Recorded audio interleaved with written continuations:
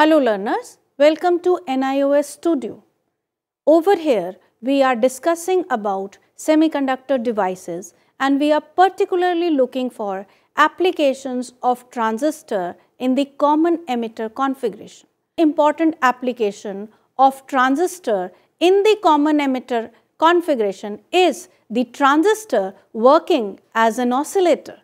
So, today we will talk about this particular application of the semiconductor devices. In this topic, you will be able to understand the working of a transistor as an oscillator, working of a typical Colpitts oscillator and the applications of transistor as oscillators. Let's begin the topic.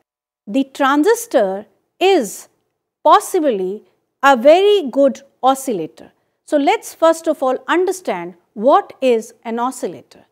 An electronic oscillator is typically a device that is capable of generating continuous electric oscillations. A large number of electrical devices make use of transistors as an oscillator. To look at in a simple oscillator, there is a parallel LC circuit that is, that is an inductor capacitance circuit which is used as a resonant circuit and an amplifier which is used to feed the energy back to the resonant circuit. When we look at an oscillator, an oscillator is capable of generating continuous electric oscillations. So, apart from being an amplifier, it has an additional component. It is an amplifier with a feedback mechanism. A feedback mechanism means that some part of the output is fed back as input. Let's look at the schematic diagram of an oscillator. This is a schematic diagram of an oscillator. When we look at this schematic diagram of the oscillator, what we realize is that an oscillator basically comprises of an amplifier. This amplifier takes the input and generates a larger amount of output. The output which is generated from the amplifier, some portion of that output is taken back in the form of a feedback and is fed back to the input. This leads to formation of oscillations and this combination of amplifier with a feedback mechanism which is giving it a 180 degree phase shift. So, over here what we get is a continuous sustained oscillation.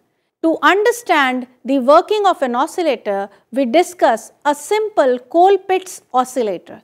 This is one of the simplest oscillators which is having an amplifier followed by a 180 degree phase shift feedback mechanism.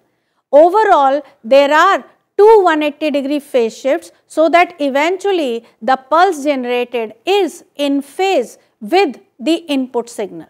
So, when we look at this particular topic, we have an LC tank circuit which is acting like an oscillating circuit and over here the transistor is typically used in common emitter configuration. So, let us go into details of the working of this Colpitts oscillator. In the Colpitts oscillator, the initial part that is the input part of the circuit over here is indicating that a small input signal over here is amplified with the help of this amplifying circuit. Now, some portion of this amplified output is fed back via this combination of this LC tank circuit. This is an inductor and this is the capacitor. So, it feeds back the portion to the input. So, again what we are doing is that some portion of the output is fed back as input and it is this feedback mechanism which is converting this simple amplifier into an oscillator and thus the output measured across over here has sustained oscillations.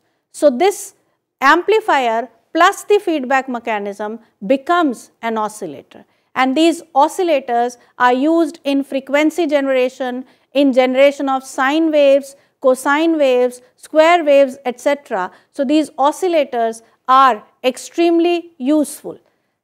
In this particular topic, we have used transistor in a common emitter configuration and it is working like an oscillator. An oscillator is a simple device which is capable of generating sustained electrical pulses. Over here, depending upon we can generate a sine wave, we can generate a cosine wave and so on. So, we discussed the working of a Colpitts oscillator.